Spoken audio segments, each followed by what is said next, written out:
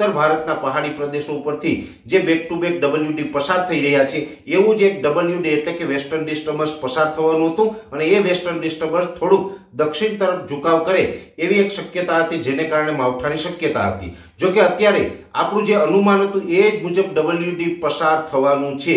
એટલે ડબલ્યુડી પસાર થશે પણ આપણું જે ધારણા હતી એના કરતા થોડુંક ઉપરથી, એટલે કે ઉત્તર તરફથી પસાર થવાનું છે, જેને કારણે આ જે ઉત્તર તરફ ખસ્યું છે, જેને કારણે આપણે માવઠાના મારથી બચી જશું. હવે આપણે માવઠાની શક્યતાઓ નહીવત થઈ ગઈ છે, માવઠું નહીં થાય તેવું આપણું એક અનુમાન છે.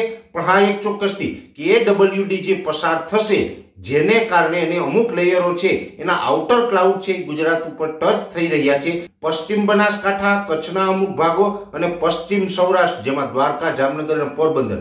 આ તમામ વિસ્તારો છે. એ તમામ વિસ્તારોની અંદર વહેલી સવારે ઝાકળ વર્ષા પણ જોવા મળશે અને દિવસ દરમિયાન છૂટા છવાયા વાદળ જોવા મળે તેવી શક્યતાઓ રહેલી છે. એટલે બીજા વિસ્તારોમાં કોઈ ખતરો નથી, પણ પશ્ચિમ બનાસકાંઠા, કચ્છ અને પશ્ચિમ સૌરાષ્ટ્રના ભાગોની અંદર ઝાકળ અને વાદળ જોવા મળે તેવી શક્યતાઓ છે. પશ્ચિમ બનાસકાંઠા, કચ્છ અને પશ્ચિમ સૌરાષ્ટ્રની અંદર ઘાટા વાદળ થઈને અમુક જગ્યાએ અતિ ઘાટા વાદળ જોવા મળે. અમુક જગ્યાએ તો એવું પણ લાગશે કે આજે એક મોટું માવઠું થઈએ એવો પણ માહોલ જોવા મળશે. પણ કોઈ મિત્રોએ ગભરાવાનું નથી. એ માત્ર વાદળ થશે કેમ કે એના આઉટર ક્લાઉડ છે આપણી ઉપરથી પસાર થવાના છે. એમાં માવઠાની શક્યતાઓ રહેલી નથી. હા, એક ચોક્કસથી જણાવી દઉં કે માવઠા જેવો માહોલ છે એ ચોક્કસથી જોવા મળશે. પણ વિસ્તાર છે દરેક મિત્રો ફરીથી યાદ રાખજો. પશ્ચિમ બનાસકાંઠા, જે બનાસકાંઠાનો પશ્ચિમ ભાગ છે, પશ્ચિમ બનાસકાંઠા સૌરાષ્ટ્રના પશ્ચિમ સૌરાષ્ટ્રના ભાગો છે, જેમાં દ્વારકા, જામનગર અને પોરબંદર અને એ સાથે કચ્છના બીજા અન્ય વિસ્તારો છે. આ તમામ વિસ્તારોને આ રીતના ત્રણ દિવસ સુધી અસર જોવા મળશે. એ વિસ્તારોને બાદ કરતા અન્ય વિસ્તારો છે, એનું વાતાવરણ છે, એ રાબેતા મુજબ રહેશે અને જેવી રીતે અત્યારે પવન છે, પવનની સ્પીડમાં કોઈ ફેરફારની શક્યતાઓ નથી. અત્યારે જે પવન છે, એ જ મુજબનો પવન છે એ હમણાં બે, ત્રણ દિવસ સુધી આપણે કન્ટિન્યુ જોવા મળશે.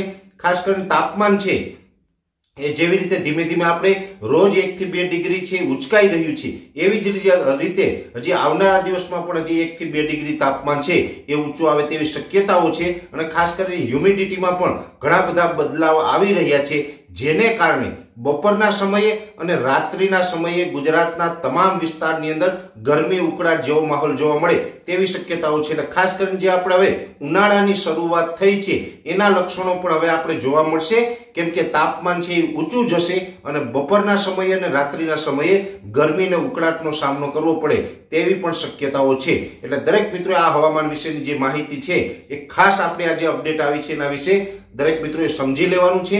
કેમ કે આપણે જે ડબલ્યુડી ને આધારે આપણું એક અનુમાન હતું, એમાં આપણા સદનસીબ એ ગણાય કે ડબલ્યુડી છે થોડુંક ઉપરથી પસાર થવાનું છે, જેને કારણે માત્ર આઉટર ક્લાઉડ છે, એ જ આપણે ટચ થઈ રહ્યા છે. એટલે માવઠું નહીં થાય, પણ રાજ્યના અમુક વિસ્તારોની અંદર હવામાનમાં પલટો આવશે.